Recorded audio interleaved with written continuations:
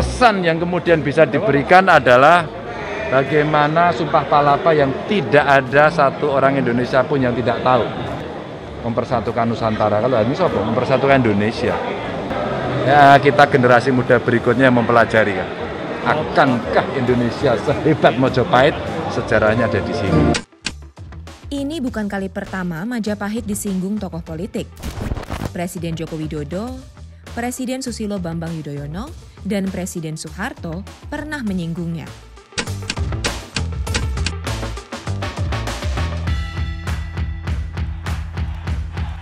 Majapahit adalah kerajaan yang berkuasa pada abad ke-13 hingga abad ke-16. Masa kejayaan Majapahit terjadi pada era Raja Hayam Wuruk dengan Pati Gajah Mada. KKW Negara Kertagama menyebutkan kekuasaan Majapahit era Hayam Wuruk membentang dari Jawa hingga Semenanjung Malaya, sebagian Thailand dan Filipina. Namun, Cornelis Christian Berg pada 1950-an menilai wilayah kekuasaannya tak seluas itu Terlepas dari polemik itu, romantisasi Majapahit kerap berulang. Mengapa bisa begitu?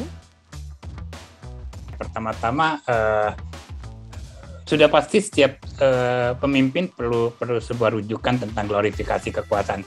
Jadi dia dia punya imajinasi ya, imajinasi tentang sosok yang besar itu seperti apa sih gitu ya.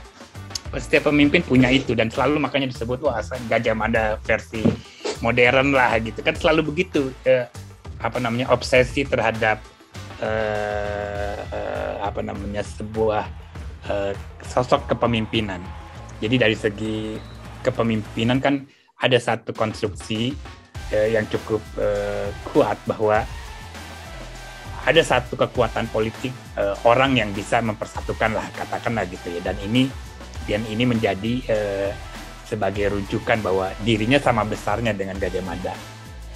Tak cuma itu, Majapahit menjadi alat komunikasi politik yang mudah karena ia dijadikan ikon sejarah nasional.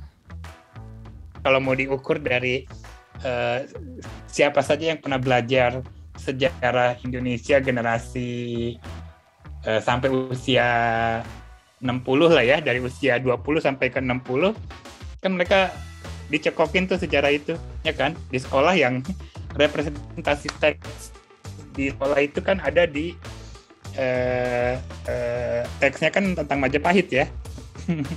Tentang kebesaran Majapahit. Jadi bahasa itu bisa diterima banyak orang gitu. Jadi dibanding yang tadi kontroversi-kontroversinya kan nggak ada ya.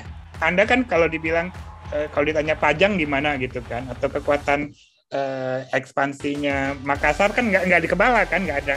Perlu dibaca dulu. Tapi kalau saya ngomong ke anda Majapahit ya saya nggak perlu kasih introduksi anda sudah tahu gitu kan. Nah itu seperti itu yang sebenarnya bahasa politiknya. Tradisi pendidikan sejarah di Indonesia menjadikan Majapahit sebagai ikon dari sejarah uh, nasional sehingga sebagai bahasa komunikasi dia mudah dibicarakan. Dari Sabang sampai Merauke orang bicara tentang itu walaupun orang Papua bilang apa Majapahit itu? Eh, nggak ada kaitan sama sekali. Tapi dia baca gitu kan